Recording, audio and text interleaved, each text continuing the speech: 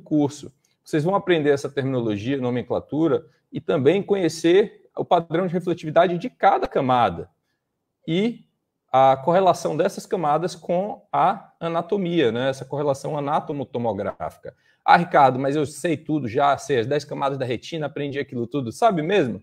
Você sabia que o fotorreceptor ele está em de 7 a 8 camadas do ACT? Ele vai da linha de, da zona de interdigitação até fazer a, a sinapse lá na plexiforme externa. Ah, Ricardo, e por que, que isso é importante? Por que, que isso é importante? Eu vou dar dois exemplos.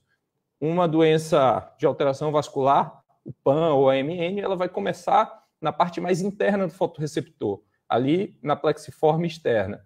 Enquanto uma alteração como a, a toxicidade por hidroxicloroquina, o primeiro achado, ainda reversível, é uma alteração de zona de interdigitação